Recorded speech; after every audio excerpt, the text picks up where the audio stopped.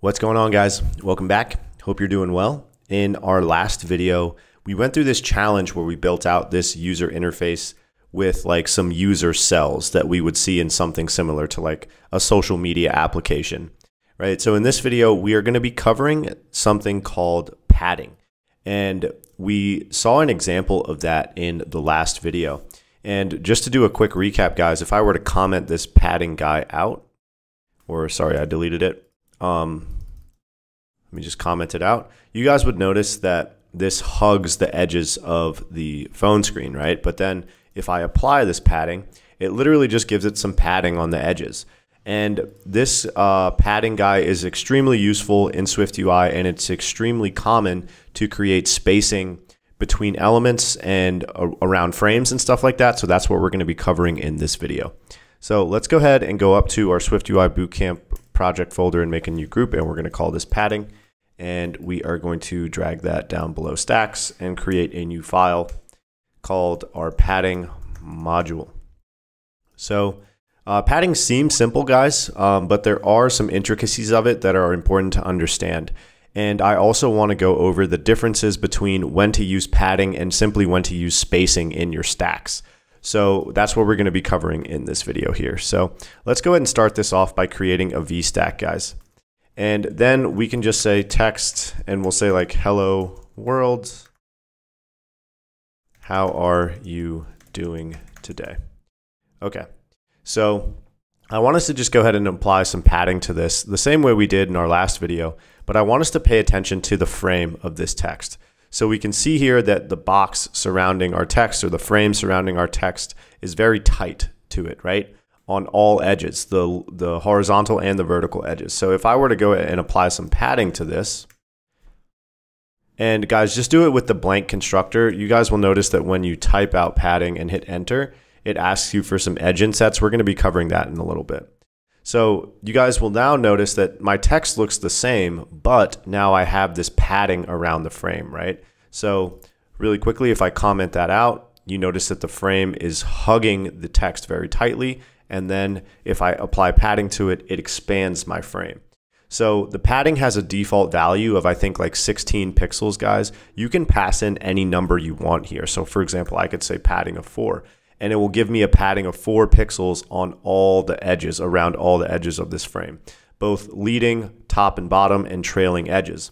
And I could say 8 and it'll get a little bigger. I could say like 64 and it will get like massive. You know, it got so big there that it actually made the text go on to a new line. So let's actually just delete this really quickly here, guys. And I want to show you some detailed examples of how padding works and the importance of why we're getting so involved with this. So on this text property, I want you to go ahead and give this a background of dot blue. So I believe this is the first time we're using this background guy. So this is different from the foreground color. If I were to say dot foreground color here, it would make my text blue. But if I apply a background, it applies this background color to the current frame of this view component. And this gives us a really clear representation of the size of the frame of this text component right now. So what I want us to do after that, and make sure you do this after the background, is apply some padding. So you guys are going to notice that this blue background stays the same, but then the frame of the text component has now expanded.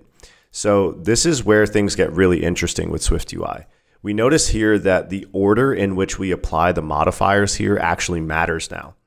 And this might seem confusing at first, but the more you play around with this stuff, guys, the more you get the hang of it. And we're going to get some practice with it here. So to show you what I mean by that, I want you to take this padding and put it before the background of blue. And you guys will notice that it applies padding and it expands the frame, and then we give it a background color of blue. But if I do things the other way around, I apply a background of blue to the current frame of the text, and then I apply some padding. So now I could actually go ahead and give this a different background color. Let's say like dot pink. And it will apply the pad or the, the background to the current size of the frame once we've applied this padding. So this can keep going, guys. You could say like dot padding, dot background, dot green, right? And this just gives you a really clear example of how the order of modifiers that we when we apply them can work And this is very important to understand when you're building out your user interfaces. Like the main concept here being that when we apply this background, it applies it to the current frame of that view component at that particular time.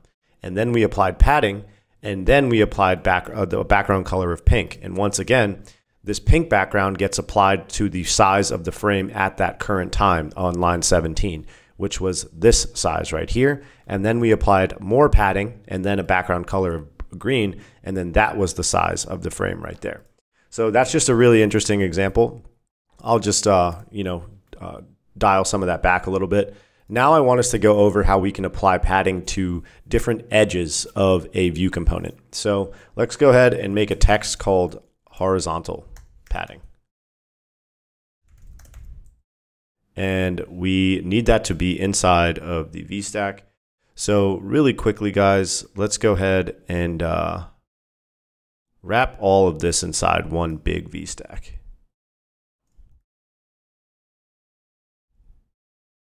Just like that. Yep. Or what we could do is take this text and simply apply it to, or those modifiers and apply it to the text. And then we could pass this guy into that VStack. And then I think that will only make us need one VStack. Sorry, that was a little confusing, but at the end of all that, your code should look like this, right? We're inside of one VStack here, and we're just applying the modifiers to the text component instead of the stack itself. Uh, we'll do some modification to this VStack itself in a little bit. so let's go ahead here, guys, and say dot padding. And then we're going to say dot horizontal. And you guys will notice that it only applies padding on the horizontal edges of this text component. And then I'll go ahead and say dot background, and I can say maybe dot purple. Right, so that is what the padding looks like on the horizontal edges right there. So if I were to remove that padding, the, the, the background only gets applied to the current size of the frame. But once I apply the horizontal padding, it expands on those horizontal edges. And if you guys want to apply a custom number of the horizontal padding, you can say like 32 at the end of it, and it will apply 32 pixels of padding on the horizontal edges, right? Horizontal meaning both left and right, guys. So then let's do another text component here and call it vertical padding. So we can do the same thing we did here. Let's just copy and paste that.